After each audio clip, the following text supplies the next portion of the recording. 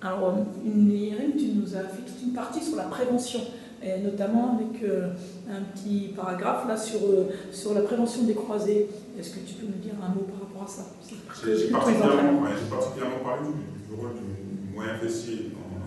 Il y a, a d'autres éléments hein, qui, viendront, effectivement s'ajouter pour, pour, prévenir euh, la rupture du croisé qui est une blessure terrible, terrible pour, un, pour un joueur qui s'appelle l'éloignement de terrain, qui se soigne bien, mais mais qui est très invalidante, euh, en tout cas pour l'équipe, pour lui. Et le moyen fessier, euh, on fait souvent de la proprioception de cheville, le moyen fessier c'est intéressant aussi de travailler en proprioception.